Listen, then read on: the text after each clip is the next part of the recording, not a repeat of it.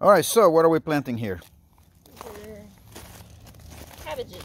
The cabbages. Okay. So the package says spacing, uh, plant spacing every 18 inches. So I marked it on this board and I marked it out with my trowel. Put a line every 18 inches. Okay. So now I'm just gonna come and plant them in. Okay. So this one has been being watered, putting water in the tray. And now that's how they are being planted. Just It's a pull it little soggy right now, so it's the bottom looks like. So it's ready to go in the ground. I'm gonna face it the other way so it's facing the sun.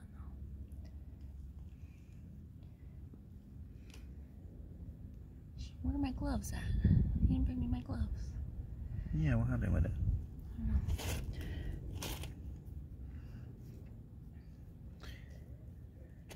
So the the compost is very lightly pressed. Just gonna press it around there.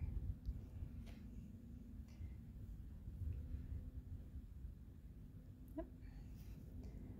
There we go. And then under here, there's a watering line kind of running there, so I just I'm staying just True, the Just watering off. line goes in the center of this bed. So we're just slightly off of that. off the center, yeah, is fine. But they're gonna like it a lot better because their roots can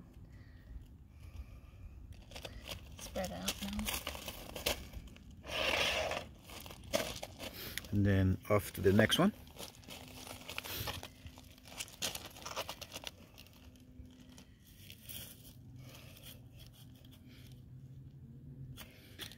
And not going so deep Not too deep. because Don't need it.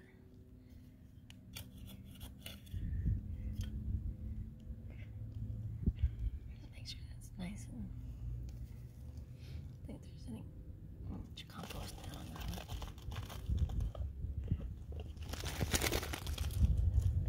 Huh? It's falling apart.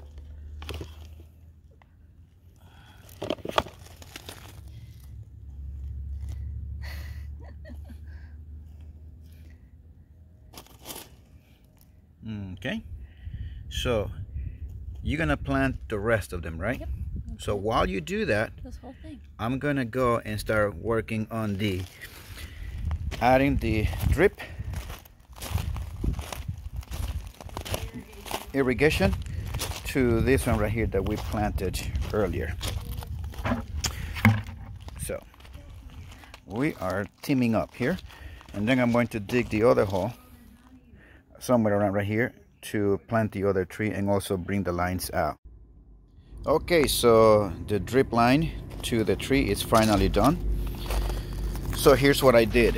I put the drip line and I put it on the top of the main water line that goes through the center of the bed. Um, I should have put that at the bottom so that I did not have to do this little loop here and then buried it through the dirt, go through the bottom of this frame all the way out to the tree there. But anyways, uh, it is what it is.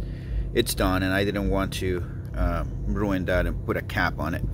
So, but on the next tree that I did, on that one that I planted, I did do it that way. So, as you can see there, it's clean. The drip line, it's at the bottom of the main water line and it is hidden. It looks a lot cleaner. So, you know how it is when you do one and you find a better way to do it a second way, the second time, and so on and so forth.